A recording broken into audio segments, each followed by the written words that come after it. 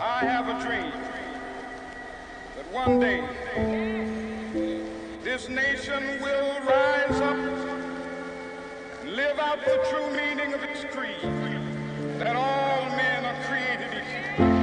Reverend Sharpton, I want to commend you for the National Action Network's commitment to fight injustice and inequality here in New York City and across America. They said, y'all dream too much, but let me tell you something. If you don't start with a dream, you won't wake up and do nothing. National Action Network, it, they're the voice of the people. The people who, you know, don't have a voice, they provide one for them. We need people like Al Sharpton who continue to hammer away at injustices. He's bringing up issues that other people are not talking about. Those that will not vote for us, we will not vote for them. When Al Sharpton and the National Action Network get involved in an issue, the likelihood that justice will prevail dramatically increases. When you have tragedies like what happened to my family, who else do you have to turn to?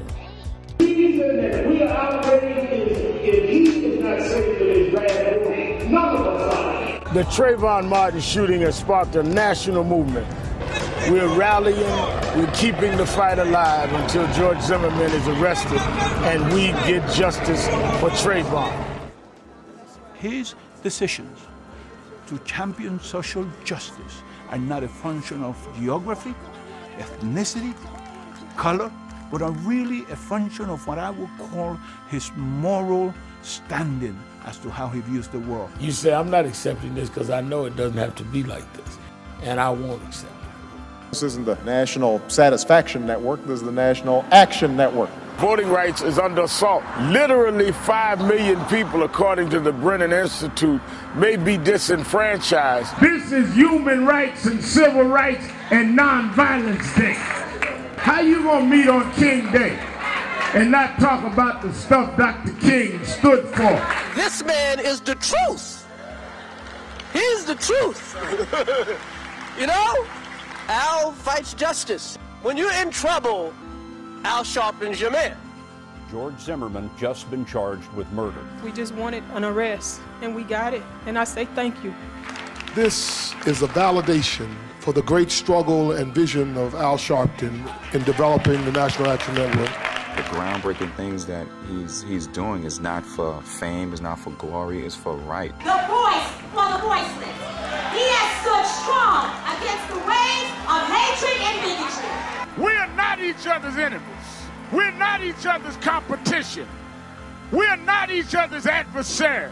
It's a very important message. How does it ultimately resonate? We've got to be mature enough to say we can be passionate and we can have some firm feelings, but that we don't have to poison the atmosphere. If you do what civil rights groups like the National Action Network have always done, if you put your shoulder to the wheel of history, then we can move this country towards the promise of a better day. I want to commend you for the work that you've done over the last two decades to lift up not only the African American community, but the broader American family. That's what you're about.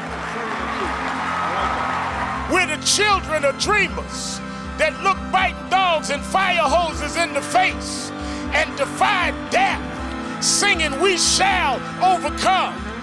If we lock arms like we did coming down Highway 80 and cooperate rather than compete, we can make America work for everybody.